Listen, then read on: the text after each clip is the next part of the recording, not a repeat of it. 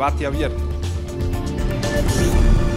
¿Qué tal? Bienvenidos a Debate Abierto, el espacio de opinión de Telemedellín. Y estamos en este momento en un proceso de especiales donde invitamos a todos los aspirantes a la alcaldía de nuestra ciudad para que vengan a Debate Abierto y nos cuenten qué están pensando, quiénes son ellos, cuál es su trayectoria en su vida personal, en su vida pública y cuáles son esas propuestas que están planteando para ser elegidos el próximo 25 de octubre en reemplazo de Aníbal Gaviria, que hoy ejerce como alcalde de Medellín.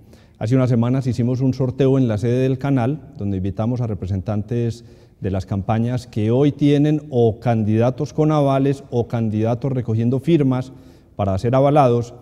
Eh, sacaron unas fechas que determinaron los días en los que aparecería el programa en nuestra parrilla de Telemedellín y eso es lo que estamos haciendo ahora, estos especiales con los candidatos a la alcaldía.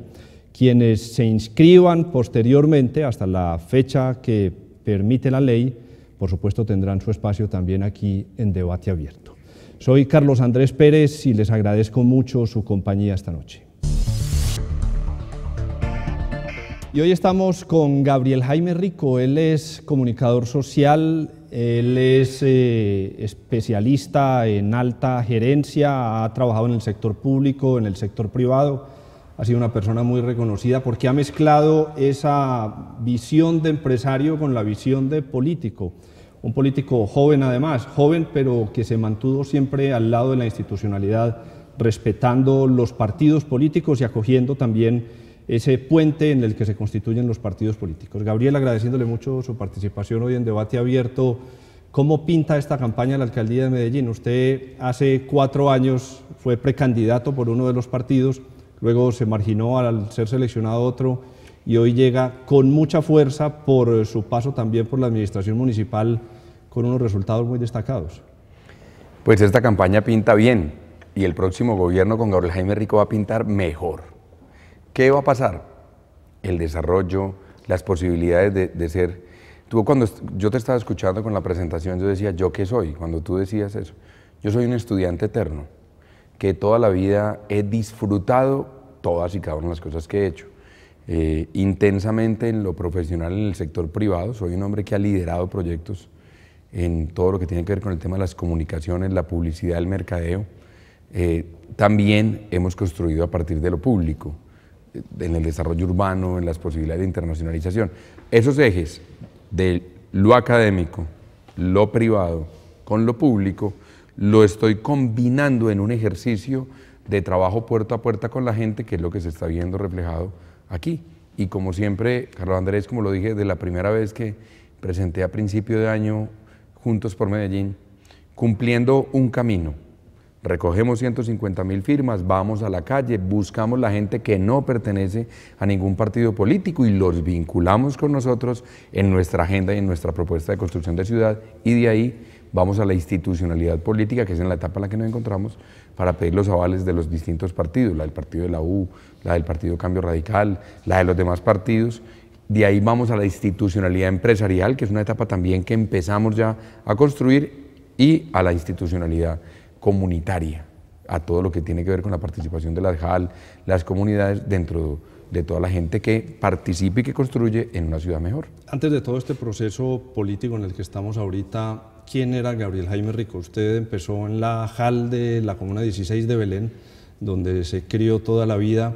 ¿Por qué decide participar en la política tan joven? Realmente yo empecé en el colegio, Carlos Andrés. Yo desde que estoy en segundo de primaria, yo era el delegado catequístico, el delegado cultural, el delegado jefe de grupo, el representante del grupo del colegio, el representante de los lasallistas, incluso. Eh, yo soy bachiller del Colegio San Carlos en la 80, en el colegio en, Belén, y de ahí toda la vida, eh, digamos lo que siempre he estado en actividades de vocación de servicio. A mí me ha gustado servir. Soy una persona que desde joven, desde niño, siempre he estado en función de eh, cómo unir, cómo lo social, cómo trabajar, cómo ser capaces de ayudarle al otro para que el otro también saliera adelante. Y en el colegio, lo que la gente no sabe es que cuando yo estaba en sexto bachillerato, eh, montamos una no, montamos no.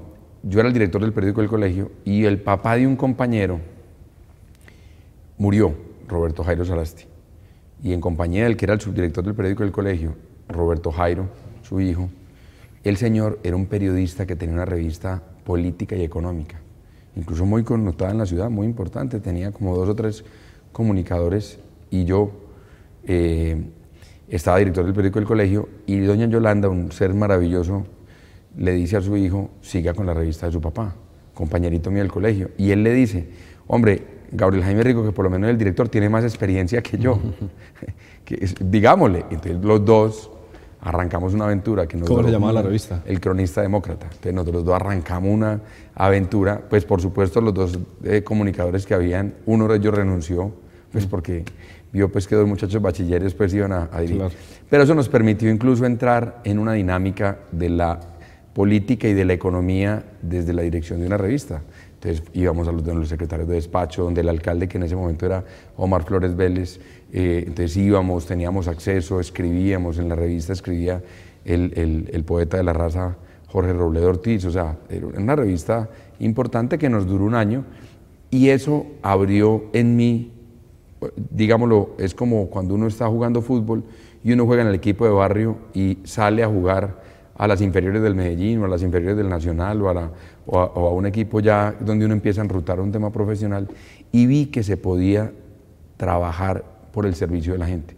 Y de ahí entonces ya lo que hice fue que la Comuna 13 fue mi objetivo. Yo era, en ese entonces jugaba baloncesto, era, pues yo, era, yo toda la vida he sido gomoso para todos los deportes. Yo, yo era del equipo de fútbol, levantaba pesas, jugaba balonmano, fuimos selección de baloncesto. En el colegio no me faltaba sino tocar el timbre. Y eso que también lo tocamos en un año. tocar la campana que nos tocaba. Tocar la campana. Entonces, cuando estamos en todas esas actividades, yo me concentro en la Comuna 13. Mi trabajo... ¿Por qué en la 13? Usted creció en la 16, Belén. Porque yo empecé a hacer campaña en ese momento con, con Carlos Alberto Zuluaga, quien estaba de secretario general del Consejo de la Ciudad de Medellín. Y en esa reunión con Carlos, Carlos tenía un trabajo muy fuerte en la Comuna 13 y empezamos a recorrernos todos los barrios, todos los sectores de la Comuna 13, siendo profesor de baloncesto, ayudándole a la gente. Eh, te estoy hablando de que yo tengo 43 años y en esa época yo tenía pues 17, 18 años. Entonces nos íbamos y armamos un equipo de jóvenes, entonces ahí trabajamos. Y después yo digo, pensando, encontrándome conmigo en, oración y tomando las decisiones que uno toma en la vida, ¿qué voy a hacer? Digo, pues si yo vivo en Belén, yo creo que tengo que servirle a Belén. Sí. Y me inscribo en las juntas administradoras locales. Eh, Eso fue en el 95, más o menos. Antes, antes, antes, porque yo realmente me inscribo, me inscribo antes a las juntas administradoras locales. en ese momento los periodos eran de, dos años. No salí a la JAL ah. y trabajé directo, con contundencia, con ganas, con un solo objetivo. Y a las siguientes elecciones fuimos la primera votación de Medellín de la Junta Administradora Local. ¿Qué mueve a un muchacho eh, muy joven a participar en política? ¿Cuál diría usted, Gabriel, hoy que es la receta para que tantos jóvenes apáticos en Medellín digan hay algo interesante para meterse en la política. A, usted le funcionó el periodismo, esa vinculación desde joven con el periodismo, pero en este recorrido que ha tenido en los años siguientes después de eso, ¿qué ha encontrado? Hay que tomar decisiones internas y hay que verse en esas decisiones en el futuro y trabajarlas con pasión, con ganas, con sacrificio también para hacerlas y ser muy feliz con lo que, las decisiones que se toman. Eh, yo creo que hay dos clases de personas en el mundo, Carlos los que esperan a ver cómo el mundo da vueltas y se acomodan, o los que hacemos algo para que el mundo justamente dé vueltas, y yo soy de esos. Mm. Entonces yo desde, pequeño siempre he creído que todo en la vida se puede hacer. Yo cuento una anécdota de cuando, eh, una anécdota de cuando estaba de, eh, en los grados de la Universidad de Antioquia, que va muy ligado a todo eso. Cuando yo soy comunicador de la Universidad de Antioquia, yo ya era la JAL, ya tenía mi propia empresa que llamaba Restrepo Rico Comunicaciones y era muy exitosa en ese momento, y estaba metido en los dos mundos, en el mundo empresarial y en el mundo de la política, siempre ahí. Y me dice alguno de los clientes de la empresa, le dice a mi mamá, oiga, doña Flavia, así se llama mi mamá, y Rico desde chiquito, cuando pues resultó pues así, y yo le digo, ay papá, yo, yo soy un, un empresario exitoso desde los siete años, Me dijo, ¿cómo así? Claro, a los siete años en el garaje de mi casa, en Belén La Gloria, montamos una función del Chavo del Ocho y yo vendí 40 boletas a peso boleta y eso fue lleno total. Y yo le decía con orgullo, hinchado. Todo Y mi mamá codió a mi papá y se le salió una lagrimita. Y le dijo, mi hijo, le contamos. Entonces, le contamos que mami me dijo, sí mi amor, usted montó lo del Chavo del Ocho. Lo que usted nunca supo fue que fue su papá el que compró las 40 boletas y se las repartió a todos los vecinitos para que usted no se fuera a frustrar. Lo importante de esa historia, Carlos, es que yo crecí convencido que absolutamente todo en la vida se puede hacer y que los únicos límites están aquí, en la mente y en la imaginación de todos y cada uno de nosotros. Y eso es lo que yo quiero para mi ciudad. Y eso es lo que dice que detrás de una persona que ha conseguido un puesto importante en su vida, importante me refiero que es cumplir sus propias metas y que además ha sido destacado dentro de la sociedad, hay más personas detrás, hay gente que le ayuda y está su familia y están sus amigos y están sus profesores. ¿Qué hay detrás de Gabriel Jaime Rico? ¿Quiénes impulsaron a Gabriel Jaime Rico? ¿Cuál fue ese punto de decisión que tuvo él en su juventud? Para llegar a involucrarse en la política. Vamos a ver esta nota y regresamos en segundos.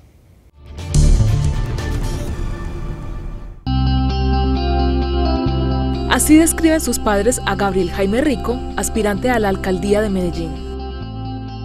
De estudiante, yo tengo una anécdota muy linda cuando empezó en el kinder, que en ese tiempo era kinder, eh, estaba con la profesora Amparito y resulta de que le, le enseñaron a hacer la A. Entonces él hizo un rengloncito de la A y, él se sentó, le dijo la profesora, él le, decía a Gaby, ella le decía a Gaby, Gaby, eh, ya terminaste, ya sabes hacer la A, sí, yo ya terminé. Y le dice la profesora, muéstremela. Y fue y hizo un renglón y le dijo, no, si sabes hacer la A ya, y ve, termina la plana.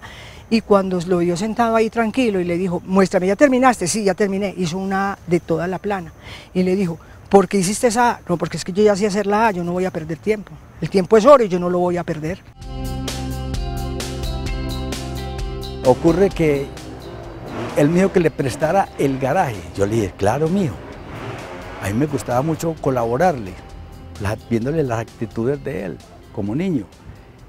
Y entonces hizo un programa de teatro del Chapulín en, la casa, en el, garaje. Y se le llenó eso. Hizo unas moneditas, a unas moneditas, unos papelitos con moneditas. Resulta que que hizo todo y se le llenó. Y fue feliz, pues se le llenó el, se llenó el, garaje y yo estuve pendiente de todo. Y ocurre que yo le pagué todas las boleticas, después él se dio cuenta, yo le pagué todas las boleticas y él se reía después. Pero yo viéndole las actitudes de, empuje que ha tenido él pues como, como dirigente y como, como, en toda su gente, porque él le ha gustado siempre ayudarle a la gente, estar pendiente de la gente, colaborarle. Él ha sido muy colaborador.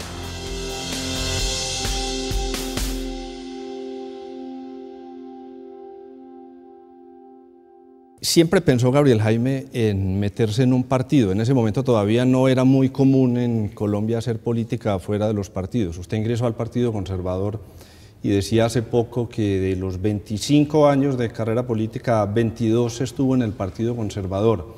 Ya nos habló de Carlos Alberto Zuluaga, que era un dirigente conservador, en ese momento después fue concejal de Medellín, representante a la Cámara, eh, estuvo al lado de Manuel Ramiro Velázquez, que lo recordamos todos con profundo cariño. ¿Cómo fue esa experiencia suya de llegada al Partido Conservador? Cuando con Roberto Jairo Sarasti, que era su papá era liberal, y yo, Carlos Jaime Rico, que mi abuelo, Manuel J. Betancourt de, de San Antonio de Prado, fue conservador y que fue jefe del Partido Conservador incluso en Colombia. Tomamos una decisión. Te estoy hablando cuando la revista, volvemos al punto de la revista que fue muy importante para nosotros y que yo pues pocas veces hablo de eso. Es más, creo que hace mucho tiempo no hablaba de eso. Nos fuimos uno por uno donde todos los movimientos políticos que había en esa época y le hacíamos una pregunta. ¿Por qué dos jóvenes deberíamos trabajar con ustedes? ¿Ustedes qué es lo que defienden? ¿Qué es lo que buscan?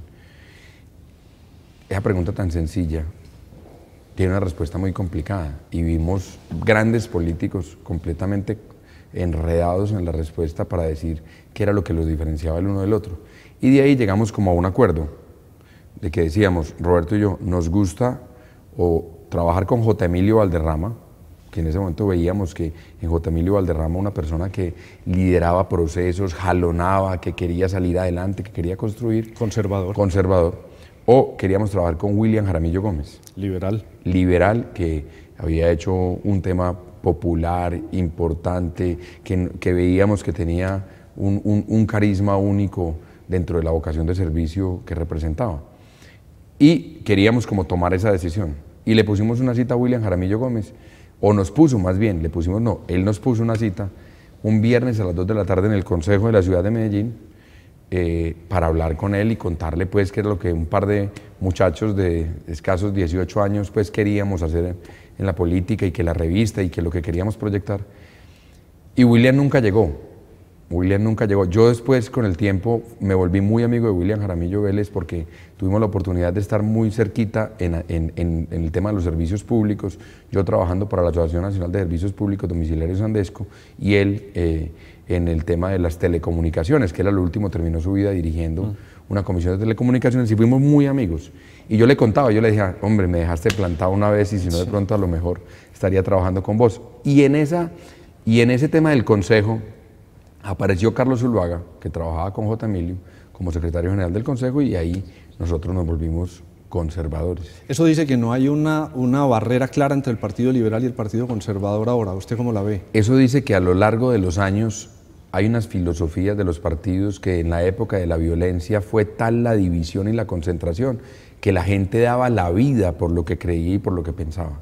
Que después con el Frente Nacional, eh, digamos lo que la mística que pasaba muchas veces fue tomando otro, otro precio y que después la Constitución del 91 dio la posibilidad de la apertura total y en esa apertura total que se generaba en las filosofías daba la posibilidad de que usted no tuviera que tener simplemente las grandes institucionalidades o estructuras, sino que usted podía tener otros mecanismos para caminar. Sin embargo, creo que las grandes democracias del mundo necesitan partidos fuertes, necesitan partidos institucionales, pero partidos que sean capaces de decir cuál es la diferencia entre el uno y entre el otro, qué es lo que usted defiende y qué es lo que usted representa, y qué es lo que significa ser eh, conservador o del partido de la U o de cambio radical o de otros de los distintos partidos que aquí se representa y eso es casi que todo ese tema de la reconversión interna que tiene que tener los partidos políticos y la institucionalidad para poder que efectivamente tengan unas causas donde la gente vaya no a buscar tanto la solución de sus problemas inmediatos, sino al mismo tiempo en, la, en el desarrollo de las convicciones de las ideologías que defiende. Y volvemos a los muchachos que hablábamos ahorita. ¿Usted cree, Gabriel, que hoy los jóvenes en Colombia, y uno no podría llegar a generalizar, pero, pero hagámoslo por el ejercicio, tienen la capacidad de decir qué representa el Partido Conservador, qué representa la U, qué representa el Centro Democrático, el Partido Liberal, o cree que para los jóvenes eso es una barrera tan difuminada que no hay entrada a ninguno de los partidos porque no los seducen con propuestas claras? Carlos, yo creo que el problema no es, no es ese partido. Yo creo que el problema es que ni los jóvenes ni los adultos saben qué representa ni el Centro Democrático ni representa los verdes, ni representa la ASI, ni representa el Partido Conservador, ni representa el Partido Liberal. Es que dígame un solo partido que represente alguna cosa que la gente sepa. Dígame uno. Uno. O sea, el problema no tiene que ver directamente con que el apellido del partido sea. Yo, por ejemplo, toda la vida he, he vivido con principios conservadores. ¿Cuáles son los principios conservadores? La familia, la honestidad, el respeto, el trabajo en equipo, lo social, y la participación de la importancia de creer en las convicciones del otro. Pero lo sé porque estuve ahí, lo sé porque, porque ayudé incluso hasta en una reunión donde usted y yo participamos, que llamamos las, las constituyentes conservadoras para tratar de mirar a ver qué era lo que eso significaba. Miramos los estatutos, hicimos una propuesta de reforma de los estatutos del partido. Se miraron los estatutos y se hacían una propuesta de reforma diciendo, oiga, esto tiene que modernizarse, esto tiene que hacer.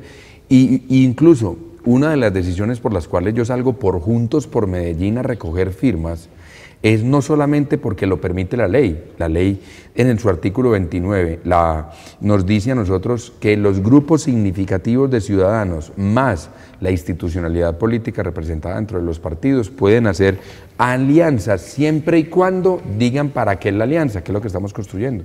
Con Cambio Radical, por ejemplo, en el apoyo de Cambio Radical a nosotros, quedó claramente establecido los tres puntos de la alianza que estamos construyendo. Uno, el tema de la vivienda que para ellos, con su símbolo Germán Vargas Lleras, con toda la política pública de vivienda que ha ha generado como líder de, desarrollo del país. Para ellos es muy importante trabajar frente a la solución de los problemas de Medellín, que en vivienda son muy sencillos. 46 mil déficit de vivienda nueva que necesita la ciudad de Medellín y hay un compromiso con cambio radical para que el próximo año incluso con el gobierno nacional podamos siquiera trabajar juntos en siquiera por encima del 50% de ese déficit, 100 mil viviendas por legalizar. Y cómo trabajamos con el superintendente de notariado y registro público, cómo trabajamos con el ministro de vivienda en ese tema desde la localidad para legalizar y que podamos acortar de esas 100 mil viviendas por legalizar siquiera más del 60% de las viviendas por legalizar. Entonces, cuando uno le pone unas metas claras, establecidas y sabe lo que defiende, tiene que salir a la calle con orgullo a decir, estos somos nosotros, te invitamos a que trabajes con nosotros para que se vean los resultados. Estamos hablando con Gabriel Jaime Rico, él es aspirante a la alcaldía de Medellín por el movimiento Juntos por Medellín, pero además por el partido de la U, además por el partido Cambio Radical. Hacemos una pausa para mensajes institucionales y al volver él estuvo a cargo de la internacionalización de Medellín, lo que vemos hoy en el proceso grande, Medellín se conoce afuera, Gabriel Jaime Rico tuvo mucho que ver y nos va a contar cuáles fueron los detrás de cámaras de ese proceso. Regresamos en segundos.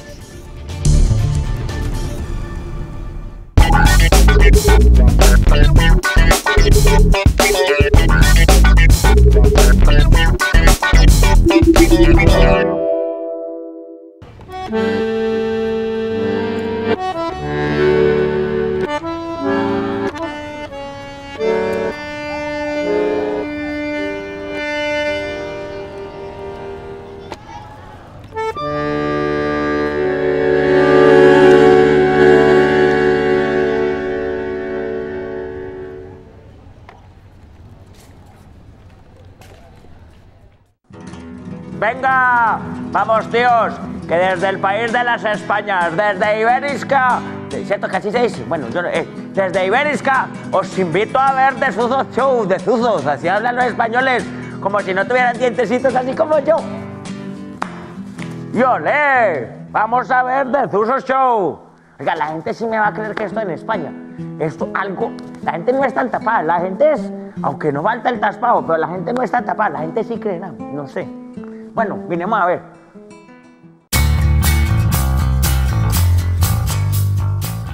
En esta emisión de Contraseña les haremos un recuento de las experiencias más destacadas de la web Mi Empresa, una iniciativa rectoral del ITM que ha demostrado ser una estrategia eficiente y necesaria en el proceso de formación continua de las compañías.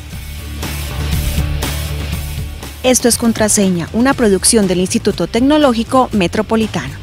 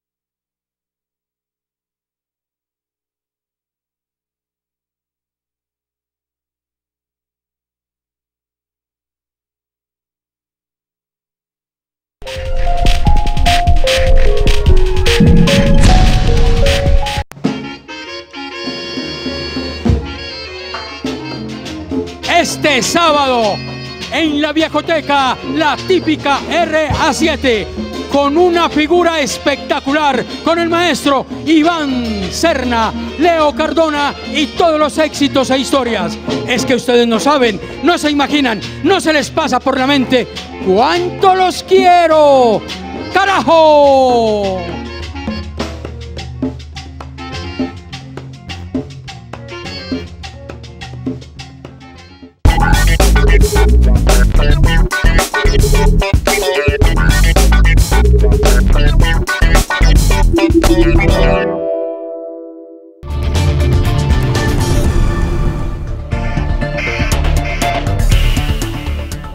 Regresamos, estamos hablando con Gabriel Jaime Rico, aspirante a la alcaldía de Medellín, y detrás de todo ese ejercicio político hay también un ejercicio en el sector privado. Usted fue presidente de Call Center, una firma muy importante del departamento y que tiene trabajo a nivel nacional también. Eh, eh, pero ya cuando llegó allá ya había tenido una trayectoria en lo público. ¿Cómo se mezcla lo público con lo privado y después dar el paso otra vez a lo público? Pues lo, importante en la vida es uno saber para dónde va. Eh, yo desde muy joven entendí que uno no podía vivir ni depender económicamente de la política, que la política es vocación de servicio, es trabajo y es la posibilidad de desarrollar todas las ideas para las cuales podemos transformar una ciudad. Entonces siempre monté mi propia compañía, yo, yo fui vendedor de alarmas de puerta en puerta, la gente no sabe eso. Para de maletín. De maletín, es más, en este momento de la entrevista quiero pedirle un favor bien especial. Cuando un vendedor toque a su puerta, ábrale. Ah, Carlos, nadie sabe lo duro que es eso, porque usted toca la puerta y ustedes con esa emoción, Chucho, te vi, pues tengo que vender hoy, uno con la fuerza, y al otro lado de la puerta hay una vocecita ya que le dice a usted, pasito, es un vendedor. Todo el tiempo le dicen, no compro, no me sirve, lo suyo no, lo del otro no. Y ese trabajo de calle, de puerta a puerta, es lo que incluso a mí me formó. Y después fui jefe de ventas de Metroalarmas y después de ahí entonces fui periodista y después de ahí entonces monté mi propia empresa que fue Restrepo Rico Comunicaciones y nos fue muy bien. Llegué a tener varias compañías, llegamos a tener incluso un montaje de una empresa de estampación textil, de un montaje de una empresa litográfica, o sea, crecimos en lo, en lo empresarial. Cuando crecimos en lo empresarial, también llegó un momento duro en mi vida y es que el 7 de agosto de 1997 yo me quebré económicamente por un evento, por ambicioso, porque en ese momento tenía 25 años y la vida me estaba dando la posibilidad también de entender una cosa muy valiosa que a mí me marcó completamente. Eh, ese día yo dije, nunca más en la vida vuelvo a trabajar por plata. Yo trabajaré para ser feliz. Y desde ese momento mi vida dio un giro único. Tengo la casa que quiero, los amigos que quiero, la vida que quiero, todo absolutamente que quiero porque mi convicción ya es distinta desde el 97. Entonces ahí yo tomo una decisión, obviamente me recupero económicamente, monto las ferias del Congreso de, eh, Servicios Públicos de Cartagena, monto una feria de medio ambiente y me toca recorrerme 18 países. De ahí me nombran presidente de Visionamos, que es una empresa que, era, que trabajaba directamente con venta al paso de productos del grupo empresarial antioqueño. De ahí paso a ser presidente de Call Center durante cuatro años, una empresa de 2.400 empleados, y a estar muy cerquita en la ANDI del sector de Call Center y BPO, todo lo que significa el desarrollo de ese sector. Y de ahí me llama Aníbal Gaviria para que le ayudara a coordinar la estrategia de internacionalización al frente de una empresa hermosísima que se llama Plaza Mayor Medellín. ¿Qué encuentra usted? Medellín era ya una ciudad reputada, habíamos pasado de un momento muy oscuro en el que nos reconocían internacionalmente como la ciudad más peligrosa del mundo, la ciudad más violenta del mundo. Y las administraciones anteriores, hay que decirlo, todas hemos tenido alcaldes muy buenos, hemos tenido esa suerte y la inteligencia de los ciudadanos de elegir alcaldes muy buenos en Medellín, creo que no haría ninguna excepción desde que lo estamos haciendo popularmente, eh, pero faltaba más impulso internacional. A usted lo llaman a fortalecer esa estrategia y con qué se encuentra. En distintos viajes de promoción que tuvimos sobre Medellín para hablar de inversión, para hablar incluso de intercambios culturales, para traer eventos hacia nuestra ciudad, para desarrollar el comercio, la hotelería y el turismo, que incluso es la meta más importante que Aníbal Gaviria como alcalde de la ciudad de Medellín nos puso y es que el 29% de la generación económica de la ciudad en empleo formal es comercio, hoteles y turismo y se hace desde la estrategia de internacionalización. Y ahí Plaza Mayor justamente es una punta de lanza. Entonces, cuando salíamos afuera a preguntarle a la gente, venga a Medellín, fácilmente el 60 o el 70% de la gente nos hablaba de esa época lejana de hace 20 años de las bombas. Y la verdad es que nos hace mucho daño las novelas. Eh, yo recuerdo, por ejemplo, con especial detalle Panamá, una cosa que, es un contrasentido, uno no, la podría explicar. Panamá aquí, pues, vecino nuestro, vecino de Colombia, un día en una reunión de empresarios hablando sobre inversión en Medellín, empresarios, gente de un nivel muy alto, con mucha cultura, muy comunicados. me pregunta alguien del auditorio y me dice, oiga, señor Gabriel Jaime Rico, es que en la novela de Pablo de la semana pasada eh, estallaron la bomba en un avión. Eh, todavía estallan bombas en Colombia, todavía están bombas en Medellín. Hombre, en un mundo pues yo le decía, por esos días estaba perdido el avión de Asia. y decía, hombre, pues si nosotros nos damos cuenta en un mundo tan comunicado de lo que está pasando con un avión asiático, ustedes imaginan una bomba, entonces ya harían los primeros que sabrían, todo el mundo habría, no, hombre, eso pasó en un pasado hace lejano, cuando las muertes eran 381 personas por cada 100.000 habitantes en Medellín, y que fue bajando, fue bajando hasta el punto de que esta administración, la de Aníbal Gaviria, encontró la ciudad en 70 muertos por cada 100.000 habitantes. Y hoy estamos en el punto histórico más bajo de disminución de homicidios, por debajo del 25%, del 25 personas por cada 100.000 habitantes, que incluso ciudades como Miami o como Nueva York están mucho más altas.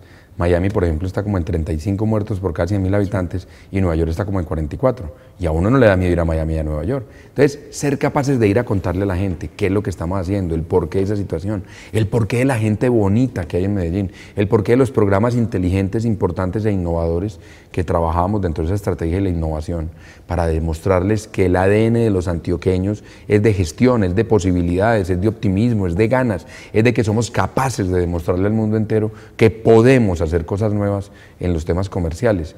Y más cuando hoy el 40% de los empleos o de los negocios que hay hoy se desarrollaron en los últimos 15 años.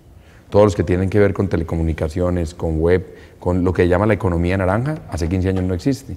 Y el más del 50% de los nuevos negocios que vienen en el futuro se van a empezar a desarrollar. Y ahí, tener la mente completamente abierta para la innovación es un tema muy importante de gancho dentro de las opciones y las oportunidades del futuro. Gabriel, ¿cómo describir hoy la situación de Medellín a nivel internacional? Cuando usted todavía, hoy está muy concentrado pues en su candidatura y recorriendo las calles de la ciudad, pero antes de empezar salir a Medellín y, y, describir la ciudad, había necesidad de hacer esa distinción que le tocó hacer en Panamá, ya no somos así, o cree que estos artículos positivos que han salido en muchos medios describiendo esta nueva Medellín, han hecho algún impacto ya y eso ha hecho que eh, pasemos de tener unas pocas ferias, reuniones internacionales a lo que somos hoy. Medellín alberga hoy al Banco Interamericano de Desarrollo, alberga agencias de las Naciones Unidas en ferias de impacto y reuniones de impacto internacional. Depende del sector, Carlos, depende del sector, o depende del continente o depende del país. Por ejemplo, si usted mira frente a nuestra relación con Estados Unidos, para la campaña de Medellín Ciudad Innovadora, que tuvo su origen en el Citibank, en todo lo que tiene que ver con el tema de Nueva York, por ejemplo, es muy, muy, muy reconocida. Y lo reconocen incluso universidades de talla mundial como la misma MIT. Cuando MIT viene con todo el tema doctoral y con todo su tema académico a decirle a la ciudad de Medellín, eh, venga que nosotros lo que queremos es trabajar con ustedes un intercambio económico importante a través de la transferencia de conocimiento y a través de la transferencia de oportunidades. Vemos que en el tema de la apuesta con Estados Unidos hemos venido avanzando muchísimo, muchísimo de forma muy positiva. Cuando lo vemos con los europeos, nosotros para los europeos nos hemos convertido en sus socios de futuro. España, por ejemplo, países que, que ven en Colombia, que ven en Perú, que ven en Brasil y que ven en México todas las posibilidades de desarrollo futuro. Es más, cuando vemos Asia, Michel Goengaga, presidente del HSBC, del Hong Kong Shanghai Banco de Comercio, dijo en la asamblea del banco hace tres años una palabra que debería estar hoy en la mente de todos nosotros. En el 2050, de seguir las tendencias actuales, las principales economías del mundo, además de los BRICS, serán Perú, Bangladesh y Colombia. O sea, hoy en el modelo económico de desarrollo, y cuando la gente mira a Colombia con esas posibilidades, por supuesto que ciudades como Medellín, y que el burro por delante patee, Medellín, Bogotá, Barranquilla, tienen una opción muy, muy importante de consolidarse dentro de ese grupo económico de oportunidades del futuro. Esto no es jugando, esto es cómo somos capaces de constituir una ciudad que es importante para poder desarrollar opciones y oportunidades hacia nosotros. Y eso es un, cuarto único. Se lo pongo en un ejemplo para que, para que la gente lo pueda entender. El Mundial de Fútbol. Lo que está pasando con la economía nuestra de ciudad es exactamente paralelo al Mundial de Fútbol. ¿Alguno de ustedes que nos está viendo al lado en, las cámaras de Telemedellín duda que Colombia pueda ganarse el Mundial de Fútbol dentro de los próximos cuatro o cinco mundiales? Yo creo que no. El nivel de Colombia que ha llegado ha llegado a tal punto que hoy tenemos una esperanza interna de que podemos tener un futuro mejor. Y eso mismo nos pasa con el modelo económico dentro de la ciudad y nos pasa con las posibilidades que tenemos nosotros de construcción, de desarrollo de futuro de Yo ciudad. quiero ratificar eso. Yo tuve el, el honor de servirle a Colombia en la embajada ante la Unión Europea y Colombia está de moda en Europa, pero más Medellín. Medellín está más de moda que Colombia. Cuando sentían el acento y preguntaban allá de qué región de Colombia era y mencionaba Medellín, siempre había algo de Medellín pendiente. Eh, y la pregunta que nos hacíamos allá era, ¿estas ciudades están preparadas? Y estas ciudades me refiero a Medellín, que es el caso que estamos discutiendo ahora, estamos preparados para recibir todo eso que se nos va a venir. Además estamos en un proceso de posconflicto en el que nos ponemos todavía más en el ojo del huracán de manera positiva. Ese es el camino, justamente esa es la preparación. Yo creo que hoy el tema más importante que viene dentro de la agenda, a partir del próximo año, en la que tenemos que trabajar muy duro como líderes de la ciudad, con la ciudadanía, está en la concreción de las oportunidades. Eh, punto uno, ya lo dijimos, el 29% de la gente en la ciudad de Medellín, dentro del empleo formal, es comercio, hoteles y turismo. ¿Cuál es nuestro, nuestra meta? Aumentar esos 500 mil turistas que vienen a la ciudad. Cuando un turista viene a Medellín, trae un millón de pesos promedio por día que los invierte en el hotelero, en el restaurante, en el del comercio, va a los centros comerciales. Y fuera de eso sirve de promotor de Medellín por fuera para que vengan más turistas. Y ahí hay una propuesta importantísima que estamos desarrollando y es que el mejor momento de atracción de los tres, aquí en, Medellín hay tres clases de turistas. El turista mochilero, que es muy importante, pero viene una opción de futuro. El turista de familia, que es un grueso importante, principalmente turismo nacional, y, o que viene porque tiene su familia aquí. Y el turista de negocios, que es el que me tocaba liderar a mí desde la coordinación de internacionalización. El mejor momento de atracción de turistas en el año es los alumbrados del río, en la época de final y de principio de año. ¿Quién dijo, Carlos Andrés, que uno tiene que quitar los alumbrados? Yo lo que estoy planteando justamente en ese proceso constante y permanente para proyectar ante el mundo entero la ciudad luz, que es un efecto que nos genera comercio, hotelería y turismo, reorganización interna, es el tema de los alumbrados. Dejarlos más Cla- tiempo. Claro, pero no solamente en el río. O sea, en el río usted concentra lo de diciembre, la natividad, el alumbramiento, etcétera, etcétera, el nacimiento del niño, la familia, etcétera. Pero usted lo que puede hacer todo el año es que usted coge los corredores turísticos. Entonces coge la carrera de Tenta, coge la carrera 80, coge la carrera 45 en Manrique para volver a Revirete, Malatangovía, coge los parques de los corregimientos o los parques como el Parque de Belén y los ilumina con tecnología de LED, con la ciudad luz, como los alumbrados del río, pero los ilumina los jueves, los viernes, los sábados y los domingos. Genera desarrollo económico, activa la noche para la vida, donde hay luz no hay delincuencia. Mueve la economía no solamente del taxista, sino de las familias y obligamos a que la agenda de internacionalización de cualquiera de los eventos que vengan de la ciudad, la gente se nos quede uno o dos días más, porque lo importante no es la luz, sino el contenido comunicacional que cada uno de esos aspectos tiene que tener para que la gente aprenda a disfrutar y a conocer mucho más de la ciudad. Y aumentamos los ingresos de la gente con el desarrollo del turismo, de los cuales solo nosotros sabemos cómo lo tenemos que hacer.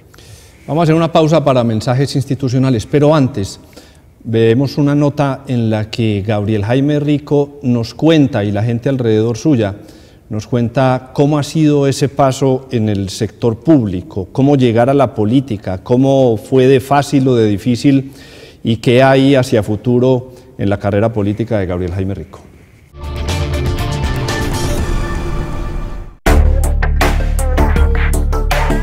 ¿Cómo y por qué llega a la política y cómo lo describen sus amigos? Mi nombre es Gabriel Jaime Rico y desde niño siempre he querido servir. Desde el colegio la participación como jefe de grupo, delegado catequístico, delegado cultural, delegado social, marcó en mi vida una vocación de liderar porque siempre he creído que las ciudades, como las familias, como la vida misma, tienen dos clases de personas, los que esperan que el mundo dé vueltas para ver cómo se acomodan o los que hacemos algo para que el mundo dé vueltas. Siempre he sido asesor de los distintos políticos o de los distintos empresarios a partir de mi trabajo como marca registrada o como Restrepo Rico Comunicaciones. Pero también fui candidato a las juntas administradoras locales demostrando que todo eso que siempre hacíamos se podía hacer con vocación de servicio y pensar en la comunidad. También fui durante ocho años concejal de la ciudad de Medellín, durante dos periodos, demostrando que se puede servir a la ciudad y al mismo tiempo tener lo público y lo privado al servicio de la comunidad y al servicio de la gente. Y en los últimos eh, años fui el coordinador de la estrategia de internacionalización de Medellín a través de la gerencia de Plaza Mayor. Eh, Gabriel era el presidente de la empresa. Eh, cuando él llegó a trabajar con nosotros éramos más o menos unas 200 personas.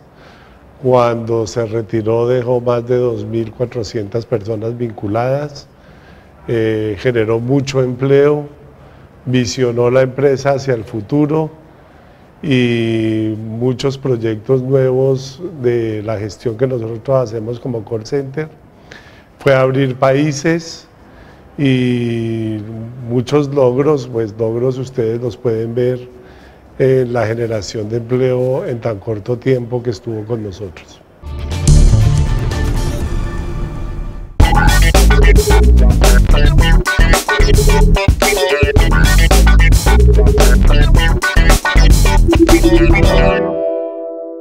En las redes también te ves. En Facebook encuéntranos como telemedellín.tv. En Twitter estamos como arroba telemedellín en YouTube puedes ver nuestros videos en nuestros dos canales, Telemedellín Más y Telemedellín Aquí Te Ves. Ingresa a nuestro portal móvil m.telemedellín.tv o disfruta de la música en nuestra emisora virtual en telemedellín.tv slash radio slash emisora. En Telemedellín, aquí te ves.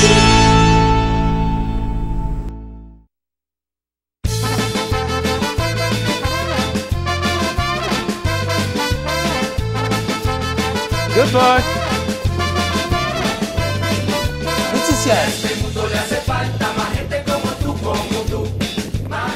Estamos en Guayabal, como una 15. Esto es Gente como tú. Jueves, 2 de la tarde. No más indiferencia, abramos paso a la conciencia y olvidemos la violencia. Goodbye. Javi,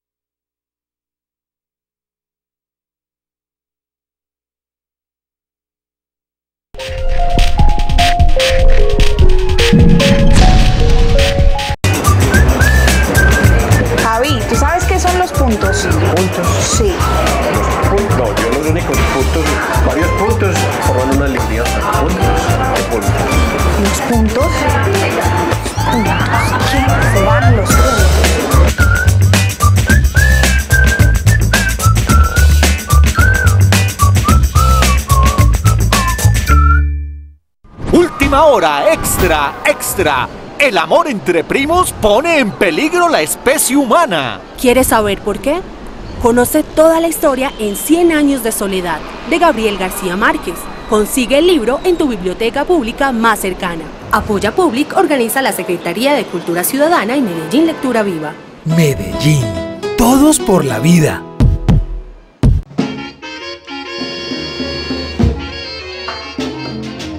este sábado en la Viejoteca, la típica RA7 con una figura espectacular, con el maestro Iván Serna, Leo Cardona y todos los éxitos e historias.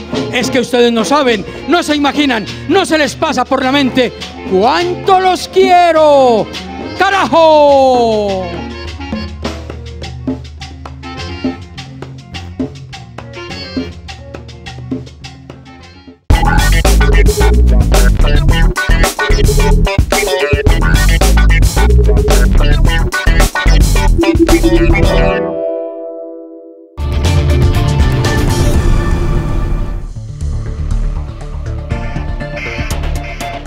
Regresamos y estamos hablando con Gabriel Jaime Rico, aspirante a la alcaldía por el movimiento Juntos por Medellín. Él dijo, yo seré el cambio dentro de la continuidad.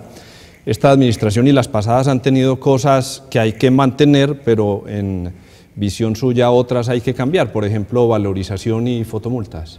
El alcalde Aníbal Gaviria ha hecho una excelente labor en la mayoría de los temas. Es más, incluso en los temas en los que yo considero que de pronto hay que cambiar no es porque estén malos o porque no, sino porque creo que en el enfoque de cada administración va teniendo uno la posibilidad de consolidar lo construido y de hacer una huella en lo que también se viene, que eso es lo que se llama avanzar. Y en el caso particular de valorización y en el caso particular de las fotomultas, ahí lo que hay metido es un modelo económico. ¿Por qué lo digo? Porque el 90% de la gente en la ciudad de Medellín gana es un ingreso fijo o un sueldo, o un salario, o unos ingresos incluso fijos. Cuando llega un cobro extra de la valorización, la gente incluso tiene que salir a buscar plata prestada y se descuadra dentro de su economía. Y cuando estamos hablando de las fotomultas, las fotomultas fueron diseñadas, es como un negocio económico, entre un convenio interadministrativo entre la Secretaría de Tránsito y Transporte y una telecomunicaciones para recoger 1.5 billones de pesos y hacer 2.800.000 infracciones por año pero no hay una campaña cívica, ni siquiera un peso de esas mismas fotomultas se van a la gente conduzca mejor. Y buscan, es un tema simplemente de represión por la represión y no necesariamente la educación por la educación y por la formación, que es lo que yo creo. Prueba de ello es de que cuando usted pasa por la fotomulta, usted lo que hace es que reduce la velocidad y después vuelve y la acelera. Si la alcaldía está comprometida y la Secretaría de Tránsito y Transporte en educar al conductor, en educar al motociclista y en educar, educar al peatón, de esos mismos recursos saldrían esas campañas cívicas que estamos planteando. Entonces, ¿qué es lo que yo digo con lo del modelo económico? Hombre, hay que trabajar campañas cívicas para las fotomultas y hay que tener una concepción diferente frente a la obra pública necesaria para Medellín y su financiación. Yo creo que hay que hacer obras públicas. No más sobre el río Medellín, a la altura de la Guacatala, hasta Soya, hay que construir cinco puentes más. ¿Pero qué clase de puentes? Puentes funcionales, puentes más estilo la 33, que son puentes sencillos de dos, tres carriles con sus respectivas orejas, y no los puentes multi eh, de diseño que buscan más es que el arquitecto se gane un premio y que encarece completamente el costo y entonces por lo tanto hay que buscar otras fuentes de financiación. Si nosotros hacemos cinco puentes en un problema de logística como los que tiene el sector del poblado, ¿el poblado cuál es el problema que tiene de movilidad? Muy sencillo, tiene nueve lomas, son nueve las lomas del poblado que sobre el río Medellín pasan en tres partes, la 10, la 4 Sur y la Guacatala. ¿Qué es lo que tiene el problema, el problema del poblado? De un embudo ¿Qué es lo que hay que hacer? Quitarles embudo. ¿Cómo somos capaces de trabajar una estrategia que nos permita la funcionalidad con más puentes y al mismo tiempo también intercambiando que los puntos de broche que existen la gente pueda bajar y que las nueve lomas terminen eh, por lo menos siquiera en, el, en, en la avenida de Las Vegas y que de ahí haya por lo menos una posibilidad más o dos posibilidades más de poder cruzar y que cuando usted llegue al otro lado y se encuentra el aeropuerto Enrique La Herrera, incluso un sueño que hemos tenido siempre de juntar Belén, Guayabal, Laureles, La América a través de un puente. Ese, ese, perdón, a través de un túnel. Ese túnel, por ejemplo, se puede hacer por alianza público-privada, porque existe toda la posibilidad de que si usted no quiere, vaya por el otro lado. O puede incluso pasarse a través del túnel y poder integrarse más rápidamente con la ciudad. Gabriel, ¿qué pasa con esa valorización que ya se pagó? Los, que, los ciudadanos de, la, de, Medellín que ya hicieron el pago, ¿usted elimina, la devuelve o, no? Por respeto al alcalde Aníbal Gaviria, el alcalde Aníbal Gaviria gobierna hasta el 31 de diciembre y por lo tanto hasta el 31 de diciembre, por respeto a él, a los compromisos económicos que ha hecho, al el tema presupuestal con su administración, a la continuidad con seriedad y con responsabilidad que yo tengo que hacer del desarrollo de la terminación de su gobierno en lo que tenga que hacerse para poder que efectivamente fluya el desarrollo de la ciudad. Mi propuesta arranca a partir del primero de enero del próximo año como punto eh, de quiebre, donde simplemente lo que hacemos es que a partir del primero de enero no habrá más derrame de valorización en el sector del poblado. ¿Por qué? Porque quiero ser completamente responsable con los compromisos financieros de la ciudad hacia el futuro. Hay un tema que hemos hablado también con sus compañeros, los dos candidatos que han estado acá, y es Medellín es una ciudad que es muy atractiva dentro de todas las ciudades colombianas para recibir personas, eh, personas ajenas a la ciudad, y eso está muy bien, porque son personas que vienen a, reactivar la economía, son personas que vienen a sumarse a, la ciudad, a ser productivos. Y viene un proceso ahora de posconflicto, los que estamos optimistas que se va a firmar la paz próximamente, y dentro de ese atractivo que se convierte Medellín también puede ser atractivo para eh, desplazados, para desmovilizados, que está bien que lleguen, pero con un programa de recepción organizado de parte de la alcaldía. En la eventualidad que usted sea elegido alcalde de Medellín, ¿cómo manejar ese posconflicto en lo que respecta a esto que acabo de plantear? Medellín y el proceso de posconflicto se ha venido construyendo a lo largo de muchos años. Lo que pasa es que no se ha construido bien. En el posconflicto no solamente la búsqueda de la solución de un ingreso, el posconflicto es la oportunidad que uno tiene para saber que las decisiones que toman el futuro tienen sentido la educación, la salud y las oportunidades juegan un papel muy importante, pero no solo para el que llega, no solo para el nuevo, no solo para el guerrillero, no solo para el paramilitar o el que está al, frente de una vacrino o de un tema de grupo al margen de la ley o que se puso un revólver durante muchos años, que fue lo que pasó aquí. Yo soy crítico completamente de la historia aquí del posconflicto de nuestra ciudad, cuando a la gente le pagaban un sueldo. Yo no creo en pagarle a la gente un sueldo por un sueldo. Yo creo a la gente que más que darle pescado hay que enseñarle a que la gente pesca. Y hoy, fruto de muchas de esas vacunas que tenemos en la ciudad de Medellín y extorsiones que pasan dentro de nuestra, ciudad son un reflejo justamente de una política mal aplicada en su momento, dándole a la gente pescado y no enseñándole a la gente a pescar. Como tenemos que aprender de lo del pasado, aquí tenemos que poner sobre la mesa tres actores fundamentales dentro de este desarrollo. El primer actor fundamental es el ciudadano de bien, el que no ha cometido errores, el que por lo menos ha tratado, ha sido bueno, el que tiene principios y valores. Y ahí hay que trabajar una estrategia de estímulos para ellos. Los mil mejores bachilleres de esta ciudad, no importa el barrio, los vamos a mandar con todos los gastos pagos a que estudien su segunda lengua por fuera. Yo estoy convencido que un joven de Las Mirlas, de Manrique, de Belén, de Aranjuez, de Campo Valdés, de cualquiera de los 249 barrios de Medellín, que vaya al mundo y vuelva, ese que vuelve es un líder que nos ayuda a transformar completamente el territorio porque entendió que hay una visión completamente distinta sobre el tema del mundo. Y si a ese lo amarramos directamente dentro de la ciudad con una de las 35 mil becas que da el municipio de la ciudad de Medellín para la educación superior y lo amarcamos con el proyecto del Banco Crecer para que tenga la oportunidad de montar su proyecto productivo, nos va a cambiar todo lo que es la historia del futuro y la gente va a encontrar posibilidades. Y de ahí, Carlos, si me lo permite, viene un segundo sector que es el que alguna vez cometió un delito. La mayoría de la gente que se encuentra en Bellavista sale de la cárcel con una edad promedio entre 28 y 30 años, en su mejor momento de productividad, pero donde la ciudad con desconfianza le cierra completamente las posibilidades a las personas que también alguna vez cometieron un error. Entonces esa gente que sale a hacer, sale a buscar lo que aprendió en una universidad que se llama la cárcel a tratar de buscar la agresión, la violencia, la intimidación y el miedo, pero es por un desespero de oportunidades. Nosotros tenemos que montar un plan muy importante, muy importante, innovador, de trabajo para poder incluso que se vaya reflejado en la reducción de vacunas y en la reducción de vacrín, que es de cómo construimos confianza dentro de un tema de posconflicto para aquel que cometió un delito y cómo le damos la oportunidad a él para que se gane con principios y con valores y con oportunidades, la vida nuevamente de decirle a la gente, yo me equivoqué. Y eso es parte de una segunda oportunidad que la gente le tiene que dar. Se lo pongo en un ejemplo mío, en lo académico. En lo académico. Yo arranco una conferencia en el Colegio San Carlos cada año que dice, yo fui uno de los cinco mejores exámenes de admisión de la Universidad de Antioquia cuando me pasé a comunicación social. Soy especialista en alta gerencia en la Facultad de Economía de la Bolivariana. Soy especialista en gobierno público en la Facultad de Derecho de la Medellín. Tengo dos maestrías, una maestría en macroeconomía en la UPB y una maestría en relaciones internacionales en la Universidad Rey Juan Carlos de España Tengo, soy candidato a doctor, incluso con dos becas que me gané de un doctorado, para hacer un doctorado en relaciones internacionales. Usted puede creer, Carlos, que yo perdí cuarto o noveno y once en el colegio. Yo perdí bachillerato, yo perdí noveno, yo perdí once. ¿Por qué? Porque en ese momento la coyuntura que estaba me dio para yo tener que perder literalmente el año. Pero yo no me quedé ahí, yo tomé decisiones, demostré que se puede, luché por esas oportunidades porque hay esperanza y eso es lo que es el posconflicto.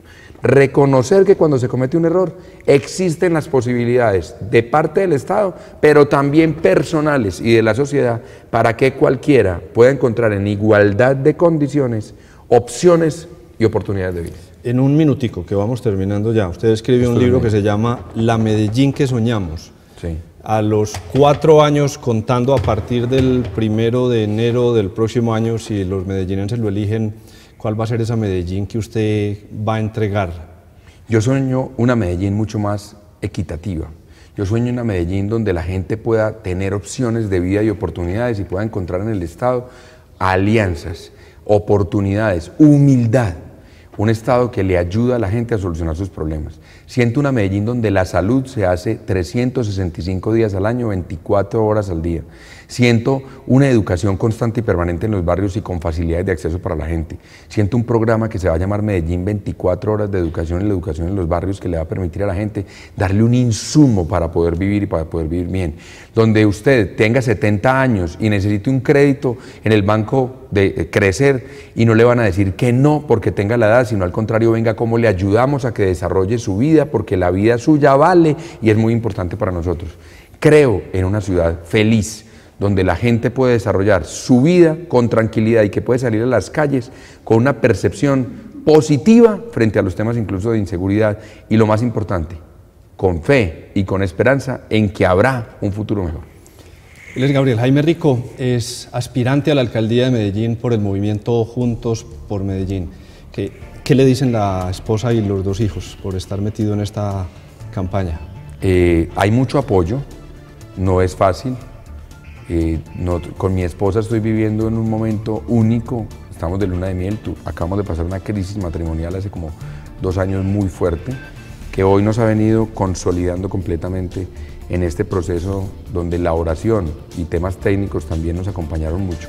Tuvimos una ayuda técnica también importante para poder consolidar nuestro matrimonio. Eh, con mi hijo que tiene nueve años, para Jerónimo eh, está saliendo conmigo a los barrios a, a- a entender también las problemáticas que existe y lo golpea mucho los cambios de ciudad. En estos días, por ejemplo, tuvimos un golpe muy fuerte con mi, con mi hija Valeria González, hija de mi esposa, de su primer matrimonio y también mi hija, cuando salimos, por ejemplo, al Pacífico o cuando salimos a, a la- eh, a las zonas como la Sierra o cuando salimos incluso a la parte alta, alta de, de, eh, Talita Cumí, por ejemplo, en la Comuna 3. Y cuando usted abre las canillas y sale lodo, en, la- en- en una ciudad donde el agua potable polula, pues la- entonces- las empresas públicas más exitosas. pues, y donde, aquí. y donde aquí hay más de 20 mil personas que, por ejemplo, que no tienen agua potable. eh, entonces, esos golpes, cuando usted llega y lo tienen todo, pero tienen la oportunidad de entender qué es lo que pasa, pues hacen unos golpes de formación constante en los cuales ellos mismos nos apoyan, me acompañan en este proceso, me dan ideas de qué es lo que se puede hacer y ellos mismos asumen también sus propios roles. Gabriel Jaime, muchas gracias por estar hoy en Debate Abierto y esperamos que en la recta final de la campaña pueda estar otra vez aquí con nosotros. Carlos, muchísimas gracias y con toda seguridad, si Dios quiere, así será. A ustedes muchas gracias por su compañía hoy en Debate Abierto. Soy Carlos Andrés Pérez y les deseo una feliz noche.